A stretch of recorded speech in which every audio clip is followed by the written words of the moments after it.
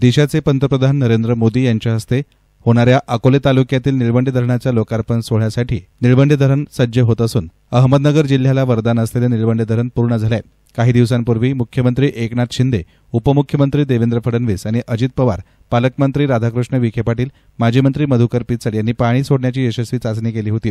धरणाचे लोकार्पण होत असताना संपूर्ण जिल्ह्यात आनंदाचं वातावरण आहे. प्रधानमंत्री नरेंद्र मोदी निळवंडेला येणार असल्याने धरण क्षेत्रामध्ये मोठ्या घडामोडी सुरू आहेत. या ठिकाणी तीन हेलिपॅड बनवण्याची तयारी सुरू आहे. हेलिपॅडला अडचण होऊ नये आणि सुरक्षेच्या कारणास्तव लाईटचे खांबही हटवण्यात येत आहेत. त्याचप्रमाणे हेलिपॅडपासून धरणापर्यंतच्या रस्त्याचं डांबरीकरण सुरू आहे. ज्या रस्त्यानं पंतप्रधान येणार त्या रस्त्याचं काम मात्र सुमार दर्जाचं दिसून येते फक्त साईड पट्ट्यांना खडी टाकून डांबरीकरण करण्यात येत आहे. त्याचप्रमाणे झाडे लावण्यासाठी खड्डेही खोदण्यात आले असून मोठ्या प्रमाणात जेसीबी रोड रोलर ट्रेलर यांच्या सहाय्यानं काम सुरू आहे.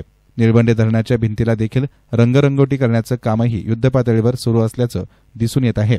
दिनांक सव्वीस ऑक्टोबर रोजी बहुप्रतीक्षित निळवंडे धरणाचं लोकार्पण देशाचे पंतप्रधान नरेंद्र मोदी यांच्या हस्ते होणार आहे. एसनान मीडियासाठी प्रतिनिधी स्वप्नील काळे अकोले.